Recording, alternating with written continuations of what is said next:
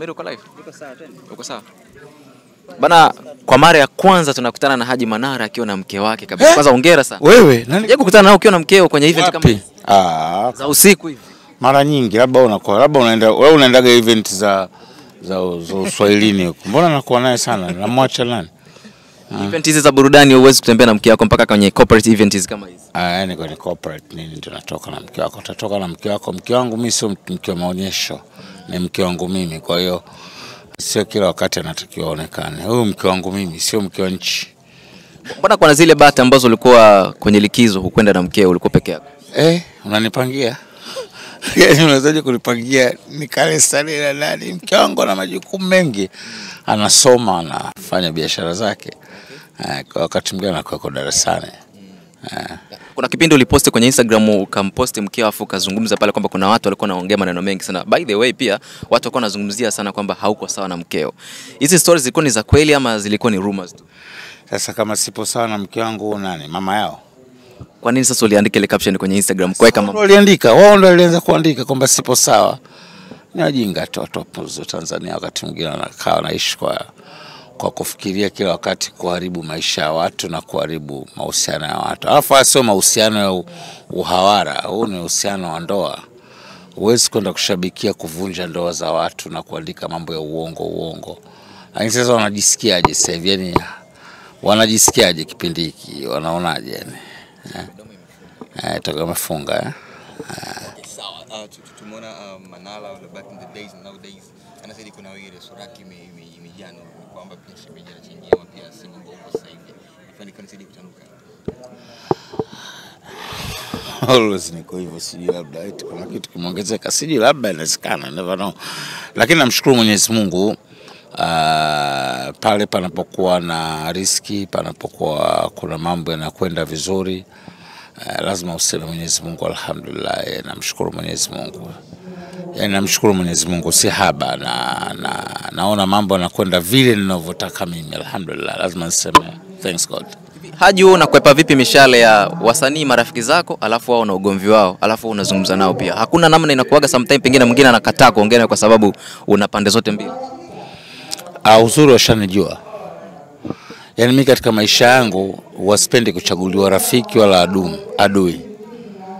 Kazi yangu sio kurithi maadui wa watu, ni bora ni- nirithi rafiki wa mtu. Ugomvi wao mimi haunihusu, kwa sababu wao wote mimi nawahitaji na wao tunahitajiana mjini. Kwa hiyo mimi siingilii kwenye magomvi yao, wote rafiki zangu na wote tukikutana tuna chati tunaongea tunacheka wote. Siingili yananihusu nini ni mama, kwa sababu wale kuna siku watapatana. Afu ukishaingilia kwenye ugomvi wao kesho kishapatana sura yako unakuwa unaweka hapo. kwa hiyo siwezi fanya kazi hizo. Yani mi wote rafiki zangu. Amo nikikutana naye tunaongea tunacheka ananipigia simu akitaka jambo lake. Bana nataka kuna mpirani leo brother? Nataka tiketi namwambia amo basi pelekeni jamaa tiketi ndugu yangu anakuja uwanjani tukikutana na klabu tunacheka. Eh, ali mwanangu wa Kariakoo mtoto wa kitaa tunacheka tunaongea. Eh, Diamond rafiki yangu binafsi tukaa tunacheka hiyo ndo maisha. Mimi siwezi kuingilia magomvi ah nihusu kabisa mimi hata siku moja.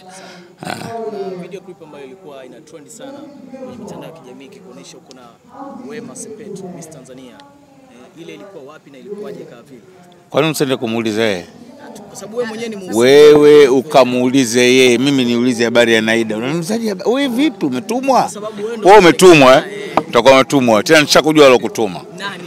Aha, endelea. Swali lingine. Kwanza Haji, umeonekana una mapenzi sana na watoto wa kike. That's why mwanao alivyokuwa anaenda kusoma umeumia sana. Kwa nini sasa usingefanya asome hapa hapa Tanzania ili usiumie, uendelee kuwa naye karibu? Shule zipo, vyuo vipo. Ah, Inawezekana labda ni kwa sababu unajua Ah, sipendi kuongelea sana masuala ya kifamilia nini, mtoto mwache asome, utamweka katika pressure mwanangu, mwache asome kwanza.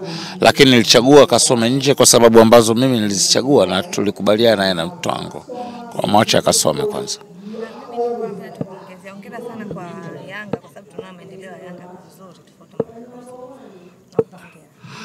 Hongera. Wape hongera wananchi wote, sio zangu peke yangu, Shabiki wanasema Haji Manara na Kismati kaondoka na Kismati huko, watu wamekufa kule, watu wameamka. Ah, sio swala la kismati. mimi nafanya sana kazi, Yaani unajua shida wa Tanzania wanadhani mambo yanakwenda tu kibaki bahati bahati. Kila mtu bahati anaitaka. Mimi napiga mzigo mzee. Mimi sio mchezo. When it comes kwenye kazi nafanya kazi. Nilipotoka wananijua huko. Yaani mimi niking'ang'ania jambo langu nikitaka kubrand kitu, nikitaka kupromote kitu kinakuwa. Nani sasa hivi anazungumzia jina Utopolo? Si limekufa. Watu wanazungumzia makolo. Watu wanazungumzia makolo. Hapo ndo utakapomjua Haji ni nani. Ah, kurithi atapatikana mrithi, hiyo haiwezekani. Mimi sio mimi sio malaika, watampata mrithi. Shida wasimtafute mrithi, lazima anayefanana na Haji. Haji anazaliwa mmoja tu kila baada ya miaka milioni, yaani watafute tu mtu akwenda kusema bana, twende nini ba. Lakini kumtafuta Haji, Haji ni kitu exceptional, utakipata tu kirahisi rahisi. Mungu aumbi kina Haji wengi sana, anaumba after every 100 million years ndo analeta haji mwingine. Kwa hiyo wanaweza wakapata msemaji, lakini atakuwa naomba Mungu anajisaidia, sio haji. Haji above the level. So, uh, umekuwa ukisema kwamba hautaki kujibishana na watu wote, Pengine na sehemu ambayo ulikuwa umetoka, pengine kuna kuna baadhi ya watu wanatumia nguvu labda ku- ku- ku- kusema hivi na vile, ni kwamba tumeendelea Haji kukaa kimya vile vile, kwamba hautamjibu mtu yoyote kwa ubaya. Mimi kusema kwanza naona raha, usiponisema mimi inakuwa unitendei haki. Wacha waseme, lakini wananzuia nini? Unanisema unanizuia nini? Yaani unaniharibia nini ukishansema? Mambo yanakwenda, wacha waseme. Nani keshawahi kusikia kuna uh, wadi ya wagonjwa, kuna wagonjwa hao wamesemwa sana, wamelazwa, wako taabani, wametiliwa drip on, na wapo wagonjwa hao, si ndio? wala alipo kaburi la mtu aliyekufa kwa sababu kasemwa sana. Kwa hiyo wacho wakisema hawanizui chochote, as long as mambo yangu yanakwenda, kila kitu kinakwenda, namshukuru Mwenyezi Mungu. Thanks a lot guys. Swala la ulinzi limeimarika sana. Walinzi ni wengi kwa sababu ya maneno, naogopa labda watu wanaweza kakuteka hivi timu pinzani. Yaani, Hamna mtu anaweza kuniteka mimi, nina bunduki na risasi kumi na sita. Mimi naomba niulize swali la mwisho. Ah, Katika naniliu ambayo ilikuwa inaendelea mechi ya juzi, uliposti caption na ulimposti kiongozi CEO wa Simba na ukaongea Achana na habari za kuzungumzia hawa watu. Haya mambo ya Instagram, hawa watu nikimzungumzia nikimzungumzia nitampa nita, unaweza ukampa mtu, achana naye. Mimi na mambo mengi. Kwa nini leo mzungu, kwa nini amniuliza? Yaani kuelekea dabi ya tele 11 of course ulikuwa kwamba ni mtu ambaye unaonyesha kwamba ushindi ni lazima mungu. Ah, sijawahi kusema hiyo. Mimi siwezi kusema ushindi ni lazima hata siku. Katika maisha yangu mimi naujua mpira. We usinisingizie. Na kwa nini niseme hivi? Ushindi lazima, mimi sio Mungu bwana. Vipi brother bwana? Siku mwema bwana. Ha? Subiri dakika 90.